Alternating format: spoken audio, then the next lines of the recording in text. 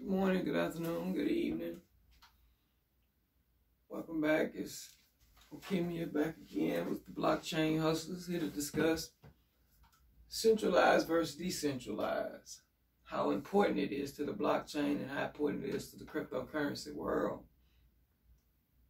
Like, there's a few people that are going to be in tune and be involved with this, but everyone is accepted Know that. And it's not too late. It's never too late to invest in yourself. You know what I'm saying? Like, never.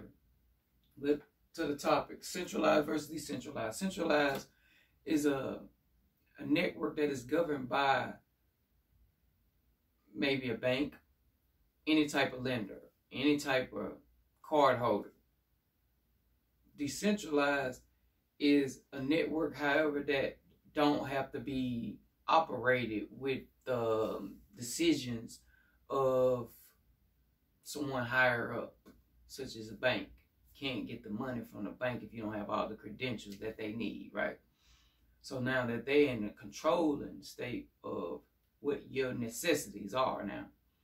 So the point of decentralizing with this cryptocurrency atmosphere is to take out the middleman that has the government system to make these decisions and it doesn't benefit the peer-to-peer transactions.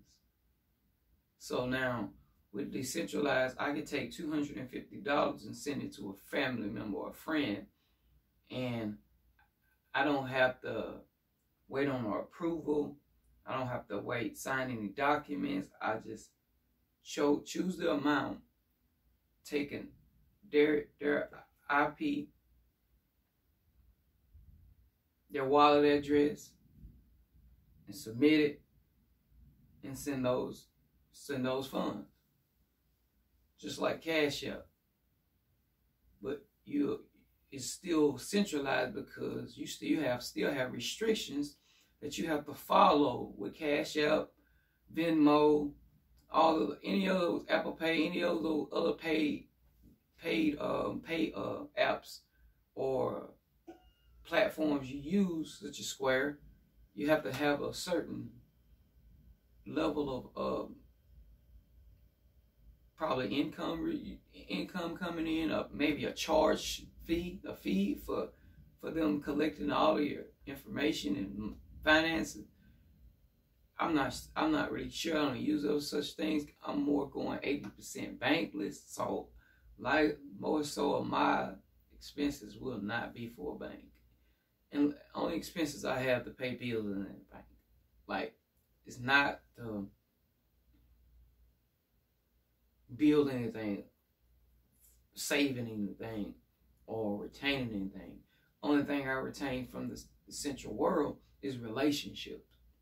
In case I do, you know, have a hundred acres somewhere, I need to go get a quarter million to finance this project, this minor project now, that's a centralized way. But being decentralized, there's no there's no peer-to-peer